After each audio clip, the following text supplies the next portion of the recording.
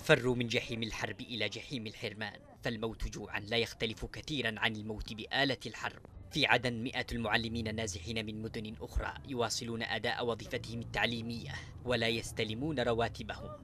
الرئيس هادي ورئيس الحكومة وجه وزير المالية بنقل هؤلاء المعلمين واعتماد رواتبهم وصرفها شهريا. لكنهم منذ يناير الماضي لم يستلموا رواتبهم رغم أنهم استكملوا ملفاتهم ووثائقهم الإدارية. وكل ما جئنا نطالب كل ما يقولنا انتظروا إلى متى الانتظار. قد أصبحنا وأولادنا في مأساة والمأساة مستمرة. ندعو إلى صرف الرواتب بصورة عاجلة قبل العيد. في عدن يعيش هؤلاء المعلمون أوضاعا صعبة نازحون بلا مأوى ومدرسون بلا رواتب ولا دولة تكفيهم عناء المطالبة باستحقاق يفترض أنه أبسط الحقوق.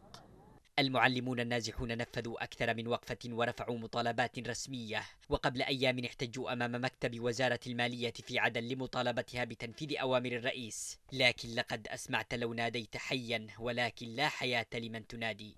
يبدو أن هذه السياسة ليست ما يعانيه المعلمون فحسب وإنما عنوان مرحلة من العجز الحكومي والتفلت الرسمي. يرقى بعضه إلى حد الجريمة وليس فقط التقصير. لا سيما وأن البلد تخوض حربا مع الانقلابيين في صنعاء وعدن تتطلب قدرا عاليا من الحس الوطني والمسؤولية الإدارية والسياسية تمضي الأيام في عدن وتمضي معها فرص المواطنين بعاصمة نموذجية وتتسرب معها الدولة من بين يدي الرئيس وشرعيته فهل سيصحو قبل فوات الأوان أم أننا سنعيش سيناريو صنعاء مجددا؟